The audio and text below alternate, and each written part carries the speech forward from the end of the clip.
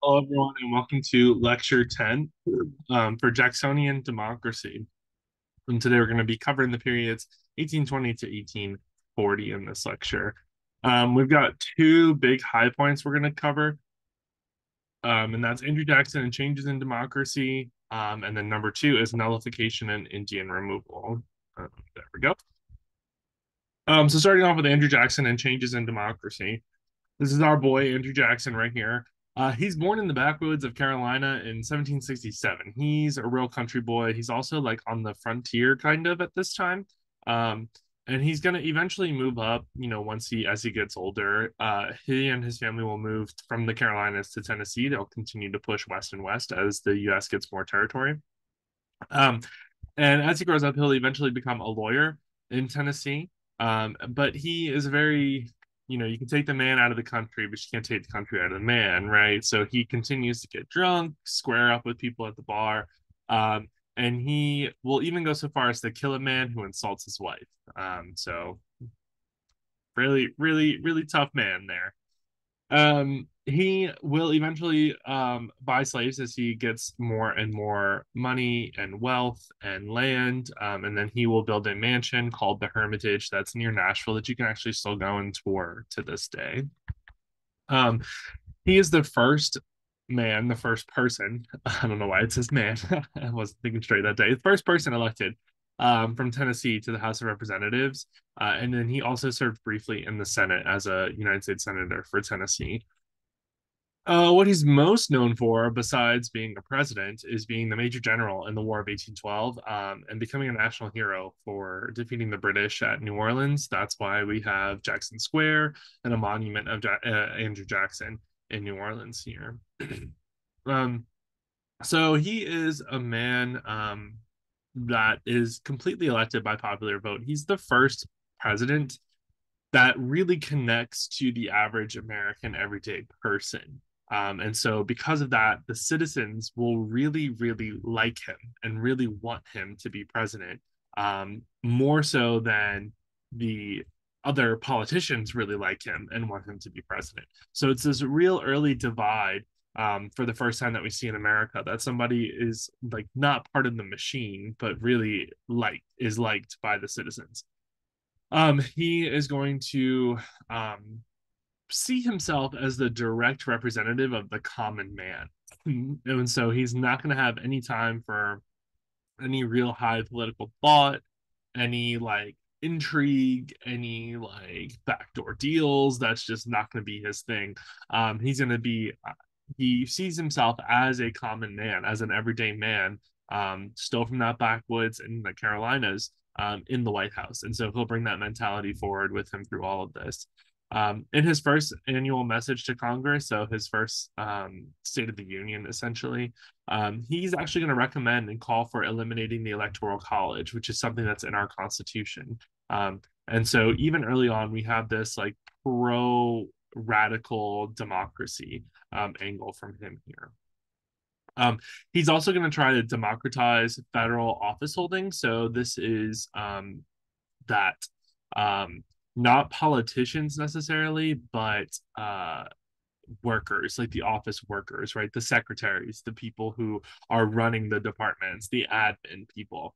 Um, he's going to want try out rotating them out of office. He thinks that they should also have term limits like politicians, um, and that they, it, the jobs that they do should not be so intense and so you know crazy involved that you need one person in it for a long time between presidents and between politicians. So he's going to try that out. It's spoiler alert, not going to work out very well for him, and he'll go back to the way that things were doing and which we currently have now. Um, but more than anything else, Jackson will be, excuse me, Jackson will be a very polarizing fig- figure in national politics. And so, because of that, we're going to have two parties grow out of the old Republican Party. Um, we're gonna have the Democratic Republicans or the Democrats. This when we eventually drop the Republican part of it and just keep the Democrat part of it, and that's the Democratic Party that we have um, to today. Um, and then uh, they're going to follow Jackson. That's Jackson's party is the Democratic Republicans, and then the National Republicans or the Whigs are going to be against him. And so we'll have um, for a short period of time we'll have three period uh, three political parties. We'll have the Whigs, or the Democratic Republicans, and then we'll have Republicans um, all here, kind of really all stemming out of following one president or the other over their times. Um, he's also going to be widely regarded as King Andrew the First. Um, lots of people, especially politicians, are not going to like how involved he is with um, making and passing laws. He has no problem vetoing anything that he does not like. He has no problem making his own opinions known about what laws should be created and which ones shouldn't be. Um, he has no problem keeping his mouth shut when dealing with the senators and the Repub- uh, representatives. Um, and so people really start to, people who don't like him will really start to see himself or see them as, will really start to see him as a dictator and position themselves against him, right? And they'll start idealizing him and characterizing him as King Andrew the First. Um, and two of the big people that do this are Henry Clay and Daniel Webster, who we'll see again when we get closer to the Civil War. Um, and so that's all going to come stem from that he doesn't defer to Congress in policymaking. Um, he doesn't just follow their lead, uh, and that he's also going to have a huge party battle around the Second Bank of the United States. He does not like the Second Bank of the United States. He thinks it's corrupt. He thinks it's not good. It's not good for the common man. Um, and so he will ultimately want to get rid of it. Um, and he ultimately will win, win that fight. Um, we, the Congress will put up a really good fight for him, but ultimately they can't get around his veto, veto when they um, charter it the second time. Um, moving on to nullification and Indian removal. Um, so nullification is this idea that the states don't have to follow what the federal government says right? Um, which is not really in the Constitution. It's actually the other way around in the Constitution, right? Um, but we'll start from the top. I apologize for these bullet notes. I didn't realize that they were not formatted formatted to pop up. So um, starting at the top here, um, the tariff of abominations is going to be the nickname that's given to this particular tax. that's placed on imported goods, um, and it's passed in 1828 at the federal level. But uh, immediately and even before it's passed, um, it is seen as something that's really heavily favoring the North. That this tariff is only good for Northern manufacturers and Southern agrarian people are not going to benefit from it at all. In fact, it'll actually hurt them, um, is this idea um, that comes out of this tariff. And that's why it's called referred to as the tariff of abominations. Um, South Carolina, particularly, was undergoing uh, really bad times with growing um, during this time. And so they're especially worried that this high tariff, this high tax on foreign goods is going to damage the state's economy and they're not going to be able to come back from it. And so during that year, 1828, we're ha- seeing very large amounts of protest um, in the southern states, but especially in South Carolina, um, really protesting this tariff. They're calling it unconstitutional. And eventually, South Carolina will pass their ordinance of nullification, which will say that the tariffs of 1828 and 1832 um, are null and void and no law nor binding upon this state, its officers, or citizens. They're going to say, We see that, that Congress passed a federal law and we ignore it. We don't we don't agree with it. We don't want it. You can't make us follow it, right? Um, and it'll also forbid any appeal of any ordinance measure to the federal courts. So they're saying not only are we not going to follow it, but you can't take us to the federal courts to make us follow it, right? Um, and it'll also go even a state a step further that will require all of the state office holders, except for the ones that are in the federal um, the federal Congress to take an oath of support for the ordinance. Um, and also, they start threatening secession if the federal government tries to collect tariff duties by force. So, South Carolina immediately is like, give me a reason. Give me a reason, and I'm leaving. I'm leaving. We're not part of this country anymore. Um, and this is all the way back in 1832. Secession doesn't happen until 1861. So we've still got 30 years until secession. But even back then, South Carolina is ready to fight. They're ready to leave. over something like taxes here.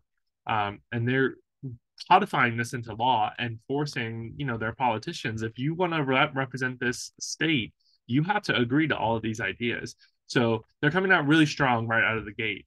Um, and what's going to happen is that it is a big crisis for the federal government, and Andrew Jackson is going to have no time, no patience for it.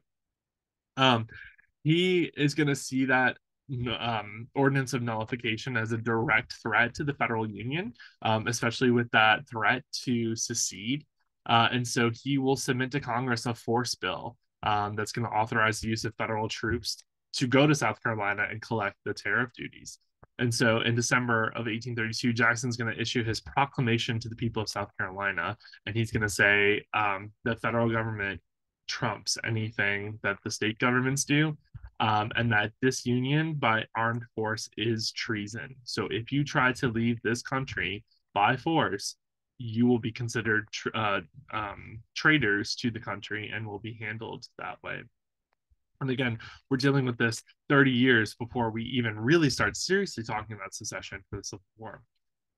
Um, South Carolina is not going to back down. Uh, so 10 days after that, they are going to um, to give a response back, and they're going to say that each state of the Union has the right, whenever it may deem such a course necessary, for the preservation of its liberties or vital interests to secede peace, peaceably from the Union, and that the South Carolina legislature regards with indignation the menaces which are directed against it and the concentration of a standing army on our borders, that the state will repel force by force and relying upon the blessings of God will min- maintain its liberty at all hazards. So, what does that mean? That's a lot of old, fancy, archaic words. Um, that means we're not backing down, and if you try to fight us, we will fight you back. Right? They're saying that we read your letter, we see that what you're trying to do, you're trying to intimidate us, and we don't like it and we're gonna we're not gonna take it right we're not gonna just back down just because you have an army on our borders we're gonna fight right back right we're not going down we're not going down peacefully and so there's really these threats back and forth happening.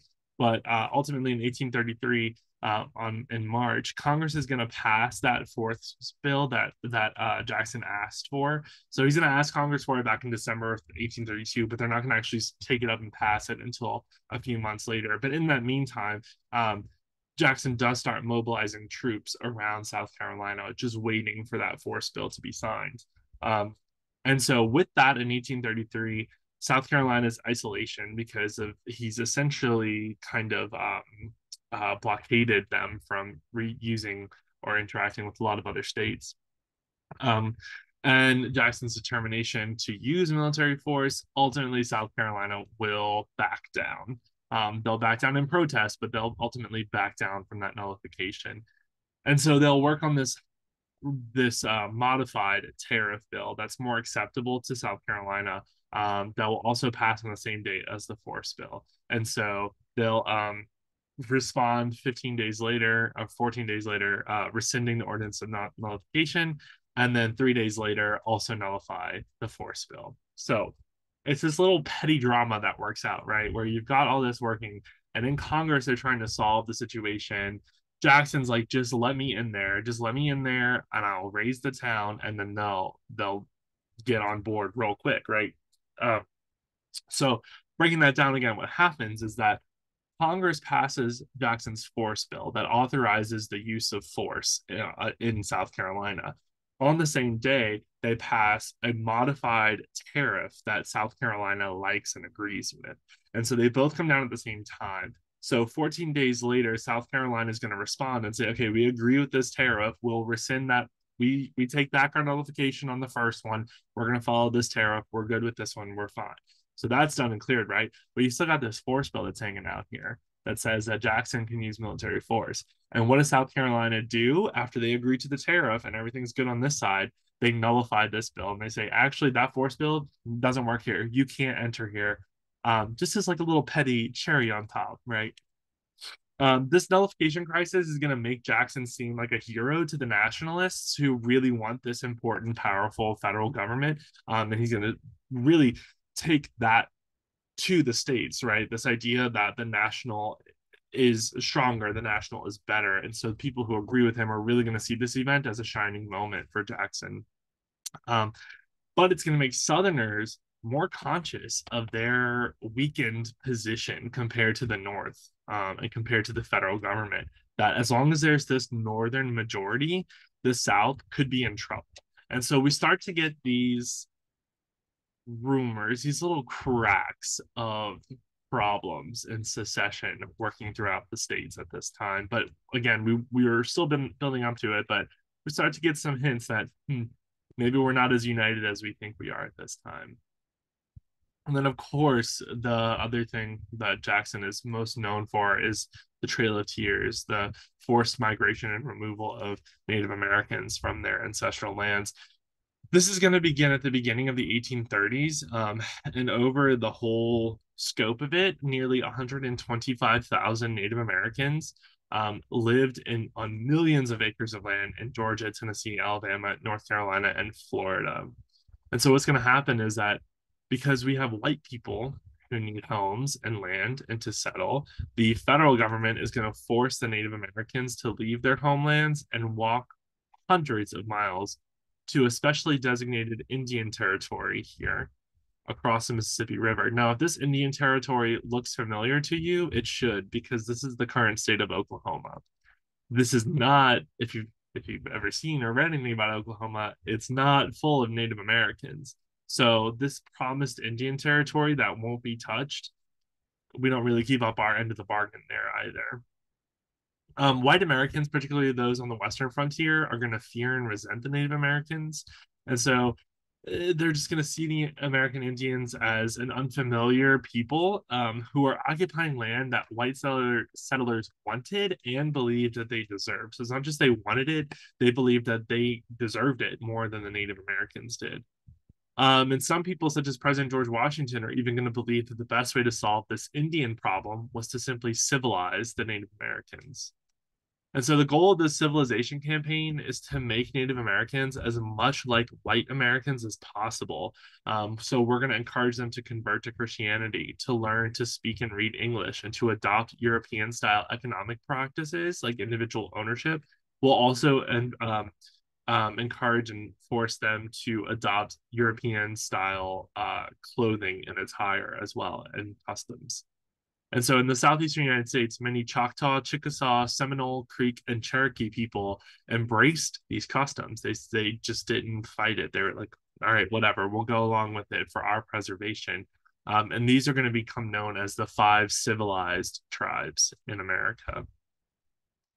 And so many of these white citizens are going to want to, when they're looking for this land, they're going to want to be making their fortunes with cotton because it's really um, uh, really profitable at this time. And so they're gonna when the federal government can't or hasn't stepped in, or Native Americans are refusing to leave, they're gonna step in with violence to take these lands from their indigenous neighbors. They're gonna steal livestock, burn and loot houses and towns, commit mass murder, and squat on land that does not belong to them. And so state governments will also join this effort um, to drive Native Americans out of the South. And several states will even pass laws limiting Native, Native American sovereignty and rights um, encroaching on their territory. So they'll cease to recognize Native American tribes as their own independent nations or civilizations and stop treating them that way. Jackson had long been an advocate of Indian removal, um, like pretty much since he was a child. Um, and as an army general, he spent years leading campaigns against the Creeks in Georgia and Alabama and the Seminoles in Florida um, that are going to result in the transfer of hundreds of thousands of acre of, of land from Indian nations to white farmers. So he's already kind of an old hand at it. He's very practiced. And as president, he's going to continue this. In 1830, he'll sign the Indian Removal Act, which will give the federal government the power to exchange native held land in the Cotton Kingdom east of the Mississippi River for land to the west in the Indian colonization zone that the United States had acquired as part of the Louisiana Purchase. And so this will eventually become known as the Trail of Tears. It's over 5,043 miles long and covers nine states Alabama, Arkansas, Georgia, Illinois, Kentucky, Missouri, North Carolina, Oklahoma, and Tennessee. And today, the Trail of Tears is a National Historic Trail and it's run by the National Park Service. Um, and you can still cover parts of it. You can go walk it today um, by foot, horse, bicycle, or car. Um, so it's it's a really important part of our history that we sometimes only briefly talk about. Um, instead of choosing to live to work with the Native Americans, we just continue to change our promises and our contracts with them, and then resort to violence or forcible removal um, to get our way for things. Um, so it's a really dark time in American history. Um, and so that'll bring us to the end of our uh, lecture here today on Andrew Jackson. Make sure to read the chapter for this week because it goes into a lot more detail about Jackson and a lot more detail about these uh, nullification and Indian removal here. Um, as always, if you have any questions, feel free to send me an email or post it in our questions chat. And other than that, I'll see you back here for the next lecture.